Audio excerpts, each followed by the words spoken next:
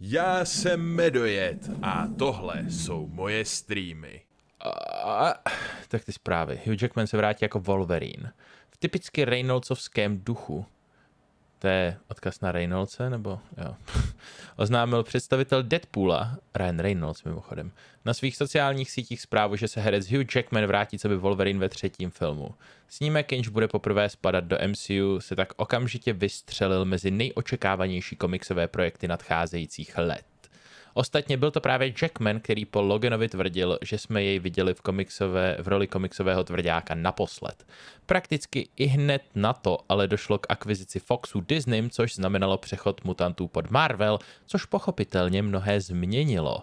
Teď nás tedy čeká třetí Deadpool s Wolverinem jako velký buddy movie, přičemž Reynolds nic moc dalšího neprozradil, tedy až na datum premiéry. Ta totiž připadla na 6. září 2024.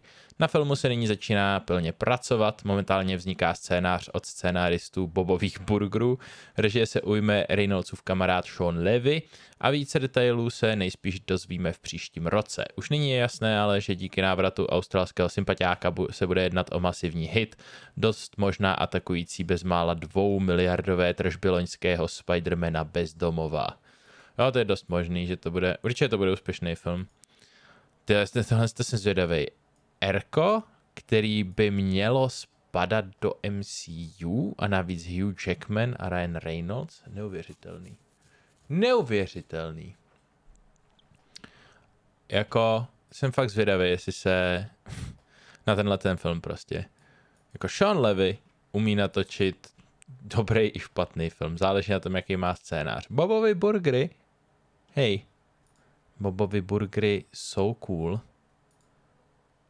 Ale, počkat, když se kouknu na od všech scénáristů Bobových burgerů, nebo kdo přesně prostě na tom dělá z těchto všech lidí. Ježíš Maria, vím kdo. Uh, no fakt bude Erko. Jako to je potvrzený už dlouho, že to bude Erko. Možná, že to na poslední chvíli někdo s tím vzdá a Erko z toho nebude, ale tak to dostane automaticky. Hej, jako Deadpool od Disneyho v MCU je potvrzený, že by měl být Erko. Deadpool 3 will be rated R, hledá se to pořád. Uh, oh, absolutely, uh, řekl Reese, což... No, no. Kdyby to mělo být Erko na 100%, ale dřív jsem tak nějak Mám pocit, že tohle je možná poprvé, co slyšíme o tom, že to bude spadat pod MCU, nevím přesně ze kdy, ale je to relativně nedávno, to potvrdili později. Kevin Feige potvrdil, že bude součást Marvel Cinematic Universe. Což je, ne, tak je to už rok stará zpráva. Teď teda ještě víme, že v tom ve Wolverine, no. Takže jako, no jsem na to zvědavý. To, možná, že tohle to zvedne trošku hype Marvel. Jestli to bude mít tržby a bude to zároveň Erko, a bude to zároveň součást MCU, tak je to možná přesvědčí k tomu, aby trošku rozvolnili pravidla pro každý jeden z těch filmů na tu strukturu a na všechny ty věci, ale uvidíme, uvidíme, no. Ja. Ren to potvrdil v Deadpool Update video, že to bude součást MCU. Jo, jo, a já akorát vždycky, když se někdo zeptá a já si nejsem na 100% jistý, což dneska si nejsem vůbec ničím jistý, protože jsem unavený jako svině, protože jsem prostě špatně spal z nějakého záhadného důvodu, jsem se zbudil v pět ráno. A tak to radši googlím prostě. Video jsem viděl někdy včera, ale upřímně, já nevím, dával jsem tak napůl pozor, zase tak moc mě to nezajímá. Ale první reakce jsou ohovně o všeho vždycky prostě ale v pořádku. Oceňovaný skladatel Michael Gacino. Přímě první reakce zatím nebyly nikdy negativní, protože vždycky pustí dovnitř úplně specifický lidi, donutí je podepsat nějaký NDA, Non-Disclosure Agreement, čili prostě smlouvy o tom, že nesmějí vlastně říct nic negativního víceméně. Takže první reakce jsou v zásadě vždycky pozitivní. Cringe.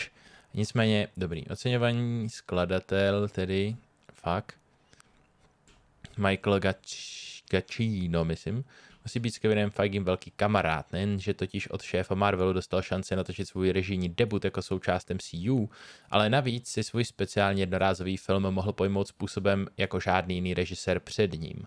Snímek Werewolf by Night, který byl od začátku propagován jako unikátní halloweenský speciál, aniž by kdokoliv vlastně věděl, co to znamená, se k velkému překvapení všech vydal cestou pocty klasickým hororovým snímkům ze 30. let minulého století jsem to říkal. Soudě dle prvních reakcí se to vyplatilo. Film, který má jen 53 minut, je tak kompletně černobílý, spoléhá se na praktické efekty, je extrémně stylizovaný a navíc obsahuje obří porci brutality a gore, jakou jsme doposud u Marvelu neviděli. Aha, Sám režisér byl překvapen, když jeho film obdržel hodnocení TV14, tedy pro děti a dospělé nad 14 let, protože očekával, že při zobrazeném množství krve a všelijakých šíleností dostane minimálně TVMA, nevhodné pro mladší 17 let. Gacino si to vysvětluje tak, že černobílý formát leco zakryl. Zajímavá. Zajímavý krok stranou. V tom filmu slyším teď poprvé, tak to je vidět, že mě půlku času neposloucháš, protože jsme asi třikrát mluvili, Romane. Serveru Slash, uh, se, serveru Slash Film pak potvrdil, že Werewolf by Night bude součástí MCU. Diváci by ale neměli čekat nějakou větší provázanost. Ona je to otázka, no, možná je tam toho góru zase tak moc nebude, ale zase proč by zrovna o tomhle lhal ten člověk? Uh, Gečano vysvětluje černobílý formát, to, co zakryl serveru Slasher Film, dělají bla, bla, bla. Když jsme se na to dívali jako na noc v životě Jacka a Elzy, ale nikdy jsme se nevyhýbali skutečnosti, že ano, i tohle je součást MCU. Někde jinde na světě v tuto chvíli se Spider-Man na něčem houpe a kapitán Amerika někoho zachraňuje, ale nebudeme se tím obtěžovat. Soustředíme se na tohle místo a tenhle okamžik a tuď už jsme kdekoliv. Jako ono dává smysl. Občas je to trochu problematický, jo, protože když máš jako obří invazi Mzáku, jako v Eternals nebo něco podobného, tak prostě, kde jsou ty ostatní hrdinové? Nezajímalo by je to je to docela logická otázka, že jo? Ale jako, sorry, když někde na vesnici, dejme tomu ještě k tomu, pobíhá prostě vlkodlak, tak jako vážně by se o to někdo zajímal, i kdyby reálně slyšeli, že jako jo, někde tamhle se děje něco úplně prostě vlkodlak nejspíš nebo co, tak jasně, superhrdinové už vědí, že vlkodlaci, démoni, všechno možný může existovat, ale Uh, prostě by se asi kvůli tomu tam nehnali nějakým ve velkým stylu, že jo? Takže je to takový, že to docela zapadá, že to i může být součást toho světa prostě. Uh, uh, možná nějakého čaroděje by to mohlo zajímat.